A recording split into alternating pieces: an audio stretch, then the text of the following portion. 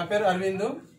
ఈరోజు మనము కృషి విజ్ఞాన కేంద్రం కేవీకి వాళ్ళు చెప్పినట్టుగా ముందుగా సుడోమోనా సుడోమోనాస్ సూక్ష్మ పోషకం సుడోమోనాస్ బ్యాక్టీరియా మీకు తెలిసి ఉంటుంది. ఆ బ్యాక్టీరియాను ఇంక్రీజ్ చేసుకోవడం ఎలా అనే ఉద్దేశంతో ఈ వీడియో చేయడం జరుగుతుంది అనమాట మనం ముందుగా ఏం చేసినామంటే ఫిఫ్టీ కేజీ పేడ తీసుకున్నాం. పేడ తీసుకొని అందులో మళ్ళా నీమ్ కేక్ తీసుకున్నాం మళ్ళీ. Five KGs neem cake neem cake తీసుకున్నాము. మళ్ళీ దాంతోపాటు ఒక హాఫ్ కేజీ అనేది సుడోమోనా తీసుకున్నాం. సుడోమోనా తీసుకొని అవి బాగా కలపాలి ఇప్పుడు ఇక. ఇట్లా కలపాలి మొత్తం. మొత్తం కలిపిన తర్వాత ఏం చేస్తామంటే దీనిని వర్షం పడని ప్లేస్లలో మరియు నీడ ఉన్న ప్లేస్లో.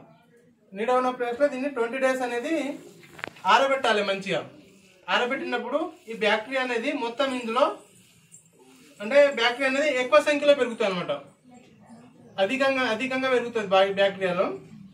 మన దాని పవర్ కూడా బాగా పెరుగుతుంది అనమాట ఇది తీసుకుపోయి మనము అల్లం క్రాప్లో కానీ ఏ పంటలన్నా వేసినామంటే తెగులు పులు తెగులు రాకుండా అనేది చాలా మంచిగా ఉంటుంది అనమాట మంచి నివారణ అనమాట ఆర్గానిక్గా చేసే వాళ్ళకైతే ఇది చాలా మంచి యూస్ఫుల్ అవుతుంది ఆ ఉద్దేశంతో ఈ వీడియో చేయడం జరుగుతుంది అనమాట ఇప్పుడు మనం చేస్తున్నాం ఇది. చేసిన తర్వాత దీన్ని ఎట్లా ఎట్లా ఉపయోగించాలనేది మీకు మళ్ళీ చెప్తాము. అయితే ఇదే విధంగా ఇది సుడోమోనస్ తోటి మనం ఏ విధంగా తయారు చేసుకున్నామో మనం ట్రైకోడర్మా తోటి కూడా తయారు చేసుకోవచ్చు అనమాట ఇది.